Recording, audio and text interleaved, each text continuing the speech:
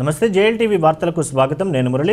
విశాఖ జిల్లా సబ్బవరం గ్రామం ఇలవేల్పు శ్రీ దుర్గమ్మ అమ్మవారి ఆలయ పునర్నిర్మాణం పూర్తయింది. సుమారు పదిహేను గ్రామాల ప్రజలు వరప్రధానిగా కోరిన కోరికలు తీర్చే కల్పవలిగా పూజలు అందుకుంటున్న దుర్గమ్మ అంబ కొత్త ఆలయం సర్వాంగ సుందరంగా ముస్తాబైంది.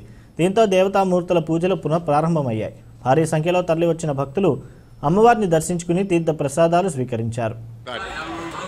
సందర్భంగా భక్తులందరూ కూడా ఆరాధ్యమైన దుర్గాలమ్మ గారిని దర్శించుకోవడానికి ఓటెత్తుతున్నారు కరోనా మహమ్మారి వల్ల సంవత్సరం పాటు తిరిగి రావడానికి భయంగా ఉండేది. కరోనా కొద్ది తగ్గుముఖం పట్టిన తర్వాత ఇప్పుడు మా దుర్గాలమ్మ తీర్థ మహోత్సవం సందర్భంగా ఈ అమ్మవారిని దర్శించుకోవడానికి సబ్బవరం ప్రజలే కాకుండా పక్కనే ఉన్న సబ్బవరం పంచాయతీలో ఐదు గ్రామాలు ఉన్నాయి.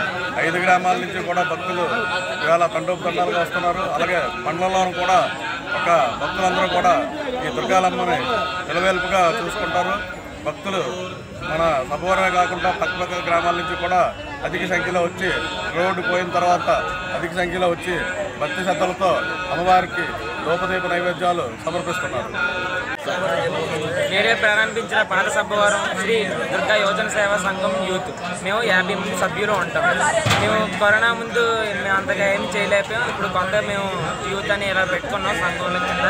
ఇప్పుడు ఇక్కడ మా పాత సబ్బవరం గ్రామంలో ఎక్కడే పండుగనే మా యూత్ తరఫున ఏదో ఒకటి ఏదో సమర్పించాలని అనుకున్నాం. మేము ఇక్కడ ఇప్పుడు ఈ దుర్గల తల్లి పండగకి ఇలా ఇచ్చాం. ఇంకా ఎక్కడైనా మా ఏరియాలో పాత ఎక్కడ ఏది ఆలయం అక్కడ మా యూత్ అంతా వెళ్ళి కొంచెం సపోర్టింగ్గా ఉంటాము ఇలా మాకు సేవ చేయడం ఈ రోజు తల్లికి మీరు ఏం చేస్తున్నారు? ఆనందకరంగా ఉంది. ఈ రోజు తల్లికి మీరు ఏం ఏం పంచుతున్నారు? ఇంకా పులిహార మజ్జిగ ఆ, వాటర్ వాటర్ సప్లై అన్నవరం ప్రసాదం ఇలాంటివి. మహాలక్ష్మి మహాసరస్వతి సురిష్ట స్వరూపిణి శ్రీ దుర్గాలమ్మ వారి యొక్క తీర్థ మహోత్సవాన్ని అత్యంత వైభవవేతంగా చేసుకుంటున్నాము అంటే అమ్మవారి యొక్క కృపా కరుణ కటాక్ష వీక్షణం వల్లే చేసుకుంటున్నాం.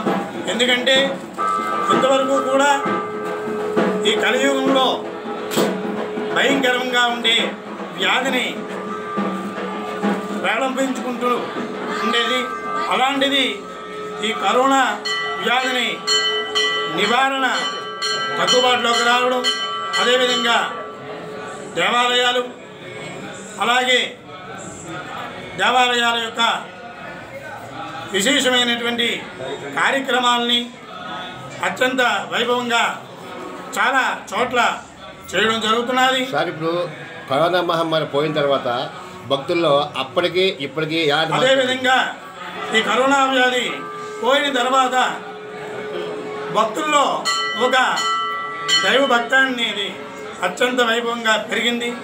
ఎందుకంటే మనకి ఏది ఉన్నా లేకపోయినా ఐశ్వర్యం ఉన్నా లేకపోయినా ఆయుర్దాయం అనేది ప్రత్యేకం కనుక ఆ యొక్క వ్యాధి సోకిన వారికి స్వల్పయం ఈ యొక్క ఆయుర్దాయమే ఉంటున్నారు కనుక ఆ వ్యాధి రాకుండా ఉండాలని దైవభక్తి పెరిగింది. అలాగే ఈ దైవ కార్యక్రమాల్లో పలు భక్తులు పాల్గొనడం పాల్ పాల్గొనడం కూడా జరుగుతున్నది. అంతేకాకుండా ఈ పాల్గొనడం వల్ల భగవంతుడి యొక్క కృపా కరుణ కటాక్ష పొందడం జరుగుతున్నది. నిరంతర రాజకీయ విశ్లేషణలు సమకాలీన వార్తా విశేషాలకు జేఎల్టీవీ న్యూస్ ఛానల్ను సబ్స్క్రైబ్ చేయండి. పక్కనే ఉన్న గంట సింబల్ను క్లిక్ చేయండి.